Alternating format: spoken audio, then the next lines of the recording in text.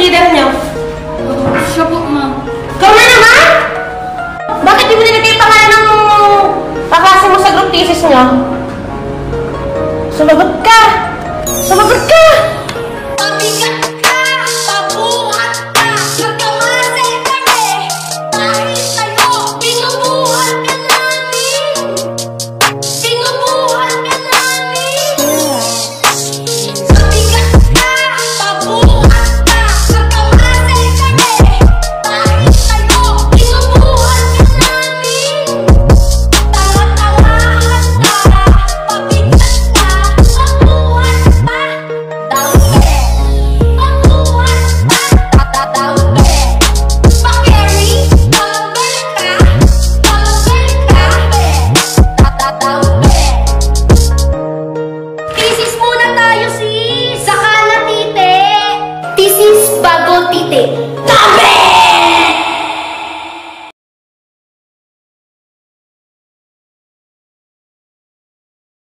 Sino yung group leader niyo?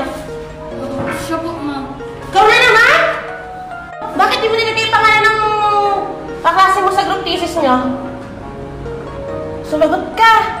Sumagot